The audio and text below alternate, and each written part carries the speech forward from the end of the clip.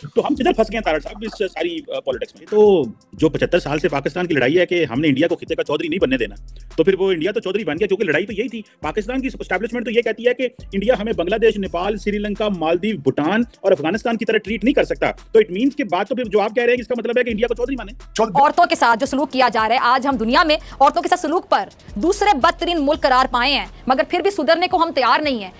और ये जो मोदी साहब ने फरमाया था कि हमने इनकी एकड़ी निकाल दी है उसकी उन्होंने रीजन क्या दी थी? खबर आ रही है कि आईएमएफ जो असल में डिले कर रहा है उसकी वजह यह है कि पाकिस्तान पे प्रेशर डाला जा रहा है कि यहाँ आप चाइना की तरफ़ जाना है तो उधर जाएँ या अमेरिका की तरफ़ आए क्योंकि ये एक बड़ी अजीब किस्म की डेवलपमेंट है। पाकिस्तान ये समझता था कि हमें उन्होंने डिक्लेयर करके बाकायदा कि हम आपको आइसोलेट करेंगे इंटरनेशनली तो उन्होंने फिर स्टेप बाय स्टेप सबसे पहले आपका जो बहुत बड़ा हवा था उम्मत मुसलमान या आयमा या ये सारा जो कम्युनिटी का पहले सबसे पहले उन्होंने वहाँ से आपको निकाला और बहुत ही बेआबरू करके निकाला। सियासी हक मांगने की कीमत पर एक सियासी कारकुन की जान ले ली जाए। मुझे वहाँ पर खुशी नहीं मनानी और मेरे ख्याल से कोई भी खुशी नहीं मनाएगा। और आप लोगों की वजह से आप लोग हमारे रंग में भंग डालते हैं। तमाम जय हिंद दोस्तों वेलकम टू नो इंडिया दोस्तों। जैसा कि आपने क्लिप में देखा, पाक मीडिया डिस्कशन कर रहा है कि तो दुनिया के जियो में फंस गए। इंडिया हमसे बात नहीं कर रहा है। अमेरिका बोलता है, पहले इंडिया से बात करो, फिर हमसे बात करो। दूसरी तरफ़ आई एम पैसा नहीं दे रहा चाइना ने अपना एम्बेसी बंद कर लिया। अब हम जाए तो जाए कहा? और दोस्तों, पाक मीडिया ये भी डिस्कशन कर रहा है की आज से पाँच साल पहले मोदी साहब ने कहा था, हम पाकिस्तान को आइसोलेट कर देंगे। आज देखो, हम पूरा आइसोलेट हो गए। कोई हमसे बात करने को तैयार नहीं है। हमारा फॉरन रिज़र्व भी नहीं है। नौ हज़ार कंटेनर पोर्ट में पड़ा हुआ है। दोस्तों, पाकिस्तानी मीडिया अपने सर पिट रहे तो आइए पाक मीडिया का और आगे का चर्चा सुनते अगर वीडियो अच्छा लगे तो like comment share and subscribe कर देना प्लीज़ ये है कि आईएमएफ जो असल में डिले कर रहा है, उसकी वजह यह है कि पाकिस्तान पे प्रेशर डाला जा रहा है कि यहाँ आप चाइना की तरफ़ जाना है तो उधर जाएँ या अमेरिका की तरफ़ आए, क्योंकि ये एक बड़ी अजीब किस्म की डेवलपमेंट है। पाकिस्तान ये समझता था कि हमें पैसे मिल जाएँगे और ये जो आई, जो फाइनेंस मिनिस्टर और आर्मी चीफ ने बिज़नेस कम्युनिटी से मुलाकात की है, उसमें यही बताया गया है कि इस तरह कभी आईएमएफ ने पाकिस्तान के ऊपर प्रेशर नहीं डाला। तो पाकिस्तान तो न्यूट्रल रहना चाहता था और चाहता था कि हम चाइना से भी फ़ायदे लें और अमेरिका से भी फ़ायदा लें। तो एक तो ये आप चीज़ देखें आपको किस तरह लग रही है और दूसरी तो इस्लामाबाद में, लाहौर में इमरान खान के लोगों ने प्रोटेस्ट किए हैं, कुछ बंदे जख्मी हो गए, एक बंदा जो है अपनी जान से चला गया है। साहब, ये तो मुल्क के अंदर अफरा तफरी है आईएमएफ पैसे नहीं दे रहा है और हमें ये कहा जा रहा है कि अपनी साइड क्लियर करें। और आपने जो बात की है कि पाकिस्तान को अब कहा जाएगा कि पहले पाकिस्तान अमेरिका कहता था कि हम आपको वाया अफ़गानिस्तान देखना चाहते हैं। आप कहते हैं कि अमेरिका हमें वाया इंडिया देखेगा। तो हम किधर फंस गए तारक साहब, इस सारी पॉलिटिक्स में? देखिए जी साहब, अब दर हकीकत, अब हकीकतें खुलती जा रही हैं। फंडामेंटल दो चीज़ें मैं आपको बताना चाहूँगा, जिसकी वजह है आज। एक तो वजह यह है, ये भी बताना चाहूँगा कि फ्यूचर के अंदर पाक, अमेरिका पाकिस्तान से डील करेगा तो हमेशा भारत को पूछ के करेगा। ये भी मैं आपको बताना चाहता हूँ। उनका इन्फ्लुएंस इतना ज़्यादा है इस वक्त। उनकी अपॉइंटमेंट्स देखें यहाँ पे।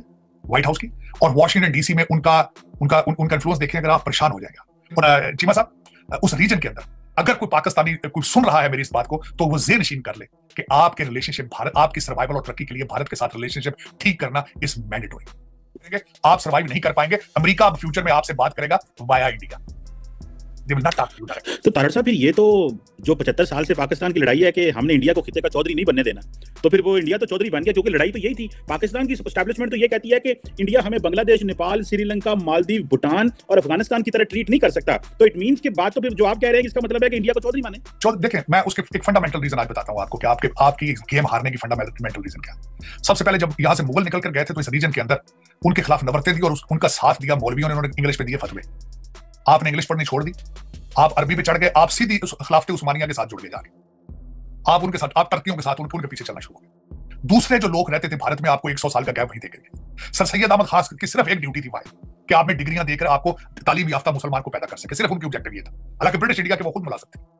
लेकिन जब वहाँ से वो आपको गैप दे गए, आज मेरा ये क्वेश्चन आप चीमा साहब, आप पीएचडी इंटरनेशनल रिलेशन में, पाकिस्तान में एक भी इंस्टीट्यूशन बताएँ जो इंडियन इंस्टीट्यूट ऑफ़ टेक्नोलॉजी की टक्कर का हो। एक भी। आप मुझे ये बताएँ कि आपका हर लीडर जिसके खुद बच्चे लंदन में पढ़ रहे हैं वो कहते हैं निसाब सारा पाकिस्तान का उर्दू में होना चाहिए। आप किस तरह दूसरी बात बताना चाहते भारत आपसे सौ साल आगे है बांग्लादेश आपसे पचास साल आगे है आप अफ़गानिस्तान है आज पूछे किस तरह। आज़ाद कश्मीर के अंदर इस वक्त लाभ बना दिया गया है कि टीचर वहाँ पे हिजाब पहनते हैं। स्टूडेंट भी स्टूडेंट। अब अगला स्टेज क्या है? पाँच तीन साल बाद बुरका। तो डेस्टिनेशन का डेस्टिनेशन का एक्सेप्ट कर लिया लेकिन अब हिम्मत करें कि एक तो भारत को एक्सेप्ट करें रिलेशनशिप से बिल्ड करें। जाके पैरी पैजो पठाना तुम बहुत बड़ी खिदमत की थी को यार तुम भी साढ़े तो डाडे हो, असि मान लेने तो फॉरेन पॉलिसी बनाते हैं और उसमें डिसीज़न मेकिंग का जिनका रोल है, मैं समझता हूँ कि उनके दिमागों ने काम करना छोड़ दिया है। और ये जो मोदी साहब ने फरमाया था कि हमने इनकी एकड़ी निकाल दी है, उसकी उन्होंने रीजन क्या दी थी? उन्होंने रीजन ये दी थी कि हमने पाकिस्तान को पाँच साल पहले ये वार्न किया था कि आप या आएँ तो हम मिलजुल के इस खत्े में जो है वो जदोजहद करते हैं, जंग करते हैं, जो नेगेटिव हमारे प्रॉब्लम्स हैं, गुर्बत वगैरह, दूसरा, तीसरा। तो या फिर हम जो है आपको बहुत बुरे तरीके से आइसोलेट कर देंगे।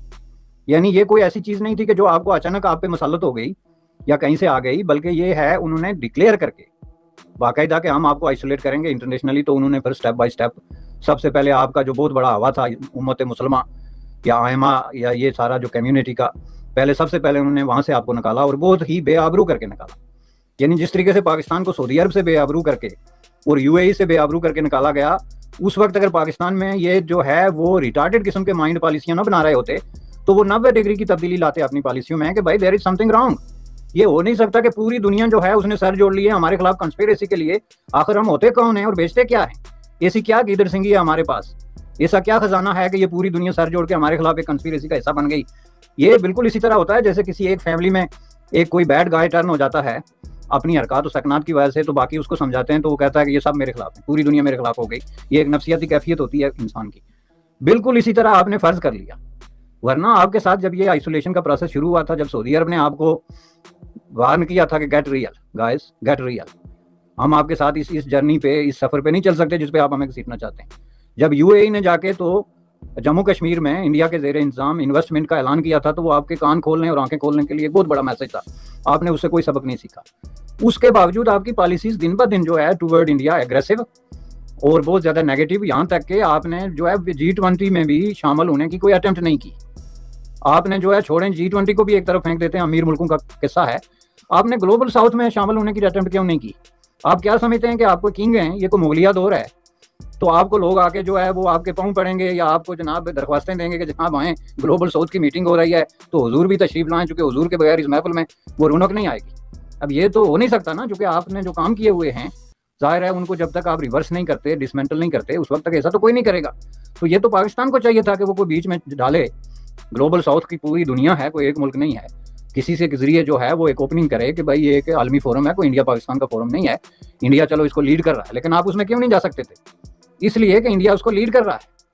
अब आप किसमें जाएँगे जिसको इंडिया लीड नहीं करेगा? इंडिया अब एशिया को लीड कर रहा है। अब जनाब इंडो पैसिफिक से लेके चाइना से लेके जापान तक आप जाके देखें इंटरनेशनली आप देखें, इंडिया जो है ग्लोबल जो साउथ है, उसको लीड कर रहा है और इसको नॉर्थ ने मान लिया। जो भी नॉर्थ के यूनाइटेड स्टेट ऑफ़ अमेरिका या नॉर्थ यूरोप है, उसने मान लिया और यहाँ तक के इटली स्पेन और पुर्तगाल ने भी मान लिया कि हम ये जो ग्लोबल एजेंडा इंडिया का ग्लोबल साउथ को लेके हम उससे मुतफिक हैं। क्योंकि हम खुद जो है वो डिस्क्रिमिनेशन का शिकार हैं। आप किस किस फोरम पे शामिल जो है वो नहीं होंगे, आप मुझे बताएँ। उसके बाद आपका सेंट्रल एशियन रियासतों का फोरम आया है, आप उसमें शामिल नहीं होंगे।